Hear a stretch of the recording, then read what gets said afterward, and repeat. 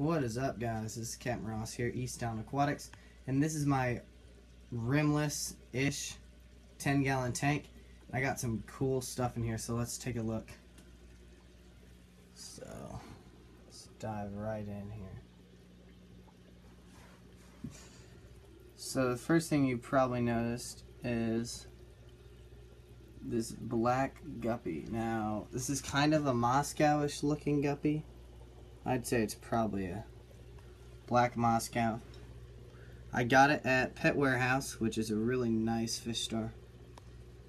And they just moved and they had got some new stuff, so I decided to pick this thing up, this guy up. And I picked up two other ones that looked like him, but they weren't as good. So I decided to use him as the male for this trio.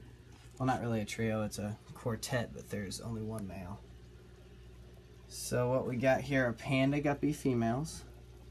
And I know it's best to keep them as like straight.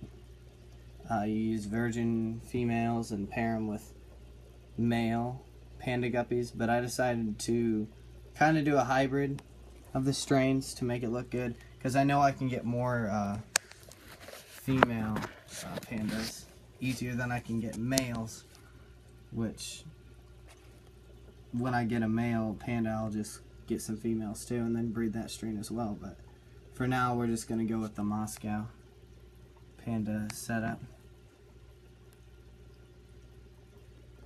So yeah he looks really nice. Um, let me know what you think this strain's gonna turn out like. I feel like it's gonna be pretty good. It just might make a darker looking panda setup. Now let's get into the scape here. In the past, this tank has been pretty good. I decided to rescape it a while ago, added another piece of driftwood. I do have an algae problem, but I'm taking care of it. I have an SAE in here, Siamese algae eater, somewhere they like to hide. It's either an SAE or a flying fox, one of the two. It's hard to tell. Um, normally I can tell, but this one's really close. I would assume it's an SAE. Um, but it's hiding in there somewhere. It might show up, maybe not. But that's in there just to get rid of some algae, and then I'll take him out. And we should be good. So, I have like this black hair algae stuff. Let me know if you guys know any way of getting rid of this stuff. I know I've done videos on getting rid of algae in the past. And like I've used those techniques, it's just kind of hard to get this type off. It's like a cladophora-ish setup, but it's uh, black. So the black part, the problem with that is you're not going to have like fish eating it as much. You got to have an SAE to get that stuff out. Correct me if I'm wrong, but as far as I've seen, the only fish that eat it are SAEs. That's Siamese algae eaters. And then, yeah, I've got that around the tank. Right here is a clam. It's like a freshwater clam. He's just kind of filter feeding. They're pretty good.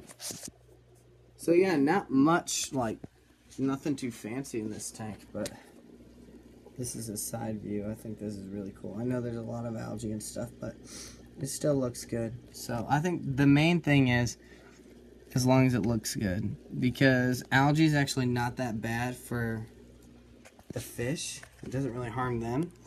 What it does is it just makes your tank look pretty bad, and if you don't control it, then you're going to have an outbreak. So yeah, this is just kind of a quick video introducing the new fish and the strain. Uh, let me know what you guys think. Check out my other videos. I have Cobalt reviews coming out, and I'm going to be giving away a ton of Cobalt products. So keep watching those reviews, and I'll see you guys in the next video. Thanks for watching.